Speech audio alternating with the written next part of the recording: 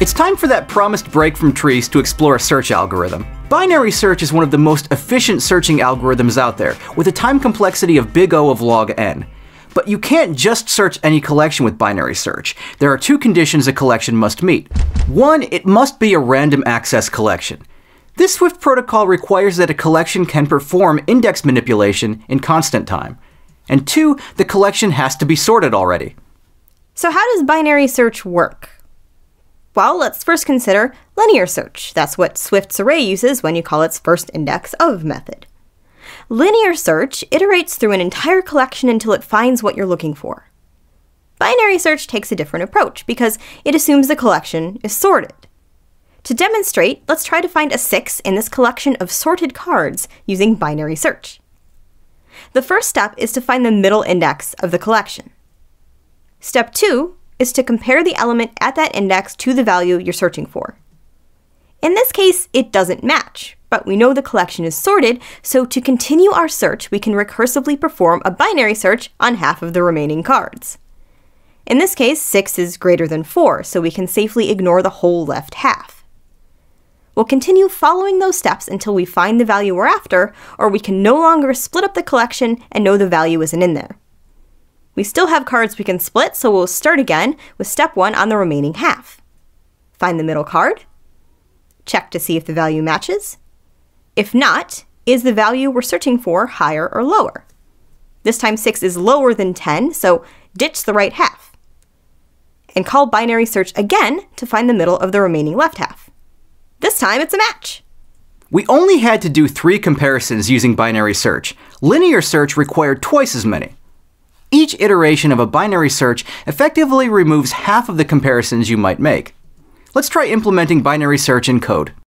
Remember that there are two main conditions that must be met before you can use binary search.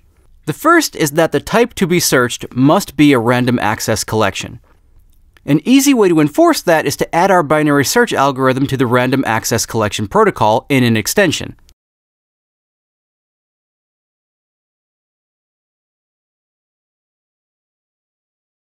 We also need the elements in that collection to be comparable so we can compare the value we're searching for to the values in the collection. Then we're ready to start the method.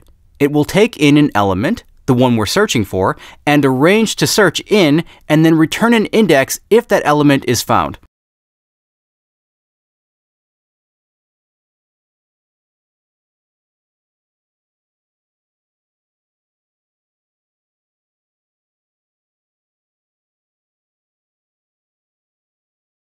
Remember that we'll be calling binary search recursively. That optional range parameter will allow us to search an entire collection at first and then search subsets of that collection in recursive calls.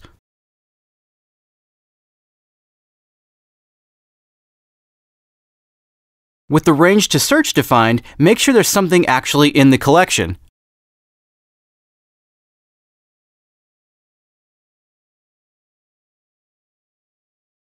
Now onto the steps we went through with our cards. First, find the middle index.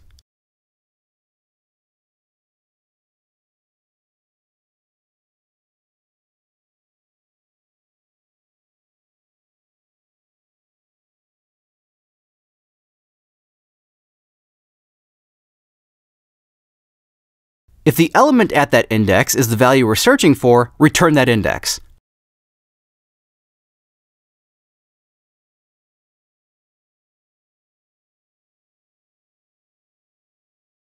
If not, recursively search in a new range of smaller values,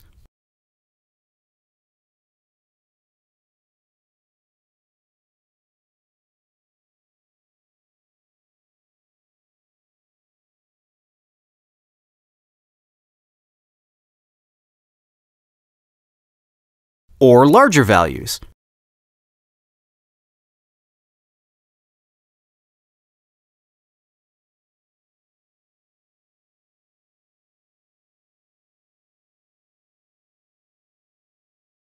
And that's the entire implementation. To make sure it's working as expected, jump over to binary search test case.swift and use binary search to find the index for 5.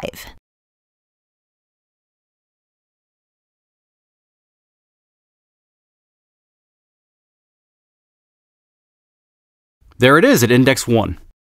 Binary search is a powerful algorithm, and it comes up often in programming interviews. If a question begins with a phrase like, given a sorted array, consider using binary search. Also, if you are given data that would be costly to search, consider sorting before searching so you can use a binary search to reduce that cost. Searching is difficult under the best of times, but have no fear, we got you covered. Just do a favor and hit that like button, and we'd certainly appreciate it. Thanks for watching, and I'll see you next time.